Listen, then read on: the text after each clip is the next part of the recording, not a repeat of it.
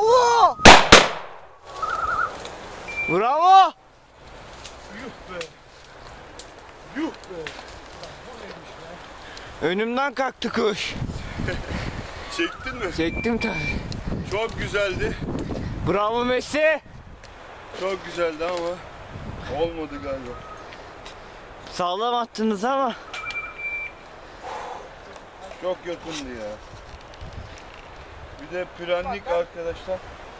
Ben dedim ileri doğru, ileri doğru gidiyor dedim. Tamam.